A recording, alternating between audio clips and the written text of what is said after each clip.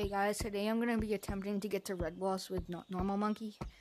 First, I'm just gonna show you that I can get it with rock monkey. I've also gotten it with lava. Actually, uh, it was my first time like today.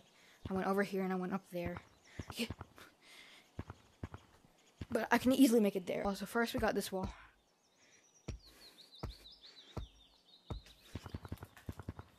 Oh, that was actually really good. No cappy cap. Let's see if I can get that again. Which is better. Well, it's also pretty good. No, no capybara. Uh, cappy cap cap. Cap. Bruh. Hi, my name is ah! Winston. I'm 17 years old. I am very similar to you. Did I mention to you that I'm Ah! Oh my god! Oh, I don't think I. I don't think I touched that. Bruh. But shoot, that was close.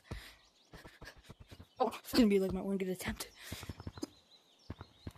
Let's go! Yes! Oh my god.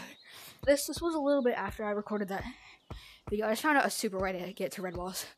A super easy. You just go up here. Is that simple? Bruh. Thank you for watching. Mission accomplished.